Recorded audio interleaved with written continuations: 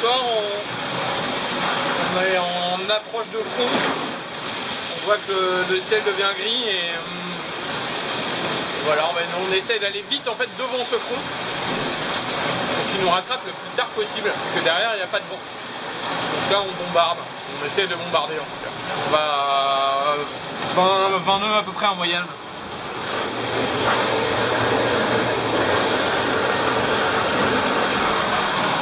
Voilà, on est à 23 nœuds. Et la mer est pas terrible, mais ça va. Ça passe quand même.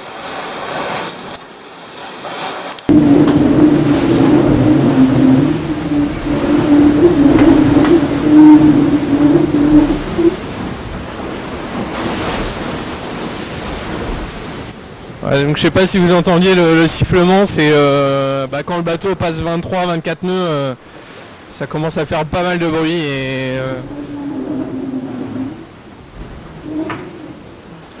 et donc ça fait deux jours qu'on est dans ces conditions euh, devant le front là, on essaie d'attaquer.